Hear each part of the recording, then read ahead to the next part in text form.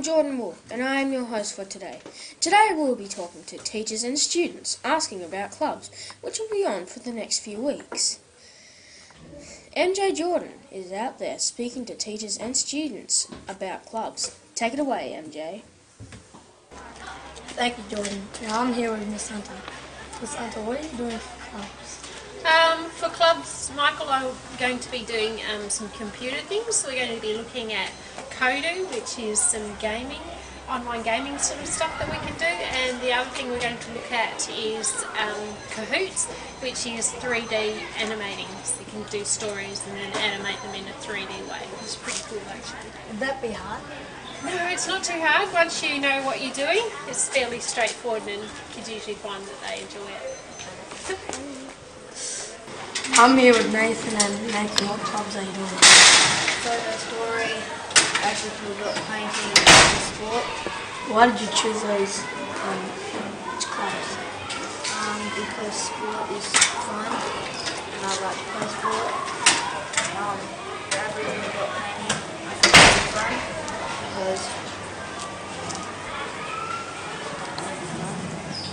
photo story it sounds interesting. Well, that's it, and back to you. Thanks, MJ. TA6 has got a new classroom. Storm Green has more to show about it. Let's see what the TA6 people have to say. Over to you, Storm. Thanks, Jordan. I'm here with Sinead, student of TA6. Do you like the new classroom? Uh, yes, I do. Um, because we got more space like through our learning and stuff. And yeah. Um, do you like that you get a bigger area to work in? Yeah, it's good. Because Oh, because you just got the area to work in. It's better. You get spread out more. thanks. I'm here with Ethan, student of TA6. Did you get to help Mrs. Hunter set up the classroom? Yes, because it was actually pretty fun to move things around and it took us about a day and a half. And um, I was surprised with how it worked out.